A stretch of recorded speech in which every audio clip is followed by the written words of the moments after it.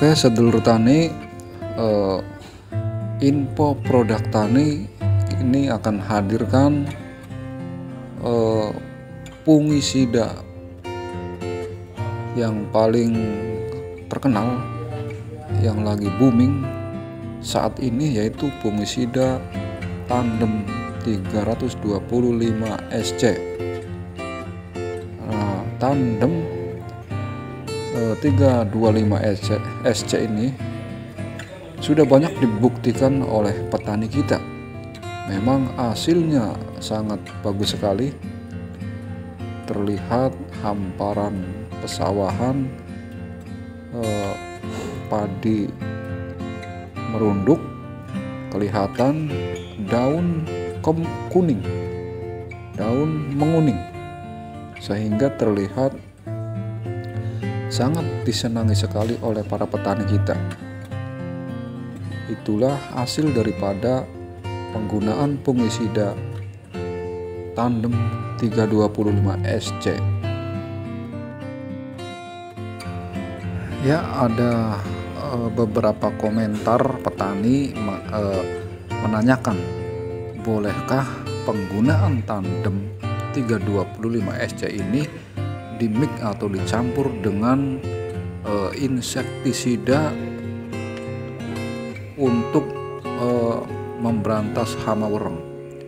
Masalahnya uh, kebanyakan di saat-saat penggunaan fungisida ini dibarengi dengan serangan hama wereng.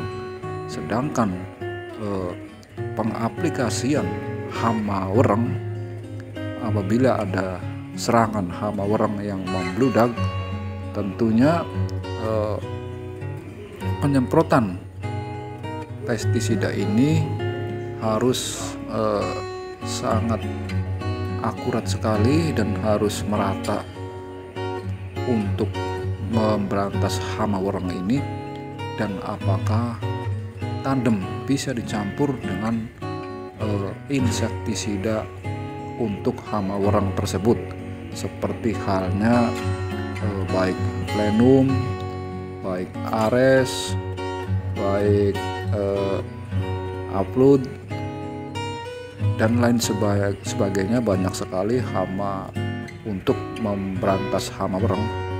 Uh, apakah bisa dicampur dengan tandem ini? Oke, kita akan sedikit menjawab pertanyaan-pertanyaan tersebut.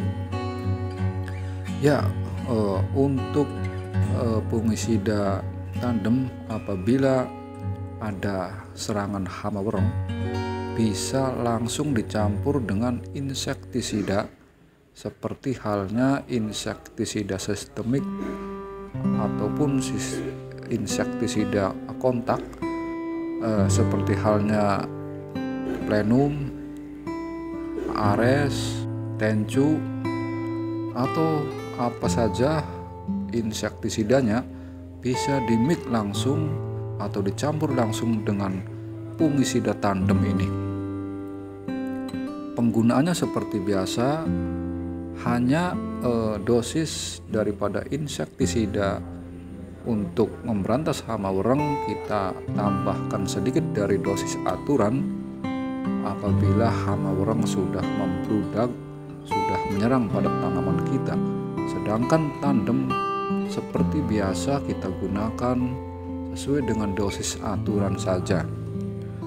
Untuk penyemprotannya biasa secara merata pada tanaman kita dan apabila ada serangan hama wereng tentu spray harus e, mengarah ke bawah agar uh, spray tersebut uh, masuk ke bawah tanaman.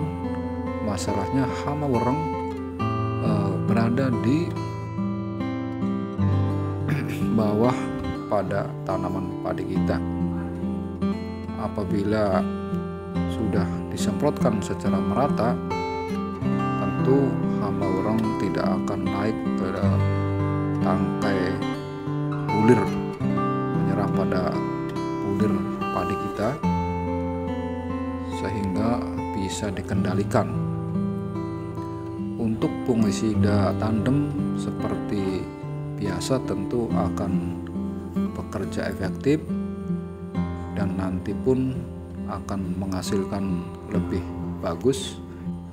Kesimpulannya jadi eh, tandem bisa dimix dengan insektisida apa pun seperti halnya insektisida untuk memberantas hama wereng. Masalahnya hama wereng terkadang sering sekali e, menyerang pada tanaman padi kita di saat penggunaan fungisida atau di saat masa-masa primordial. Dan ini harus hati-hati sekali. Penyemprotan pun harus e, lebih baik untuk penyemprotan hama wereng di bawah daripada uh, bulir atau bunga. Kalau di saat masih berbunga, spray harus di bawah malai daripada padi kita ini. Masalahnya penyemprotan hama wereng harus lebih lebih akurat sekali dan kita langkah pun harus sedikit-sedikit saja jangan terlalu cepat langkahnya di saat untuk mengatasi hama wereng. Ya, jadi kesimpulannya eh, fungisida tandem bisa di mix atau bisa dicampur dengan insektisida seperti insektisida untuk memberantas hama wereng. Oke, sedulur tani,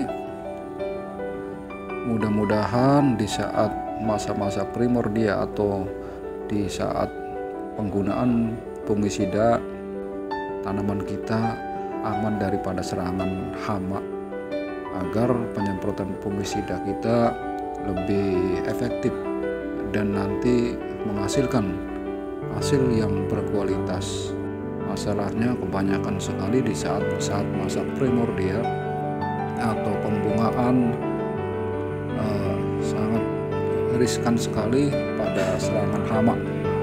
Terkadang hama wereng yang paling ditakuti oleh para petani kita.